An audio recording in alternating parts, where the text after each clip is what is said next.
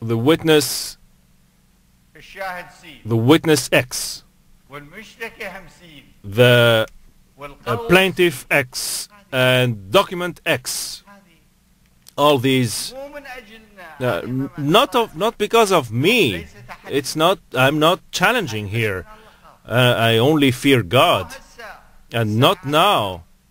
Uh, not now I'm gonna start to be scared. I I was a teenager and I was never scared, and we uh, we risked our lives and we never we were never feared anything.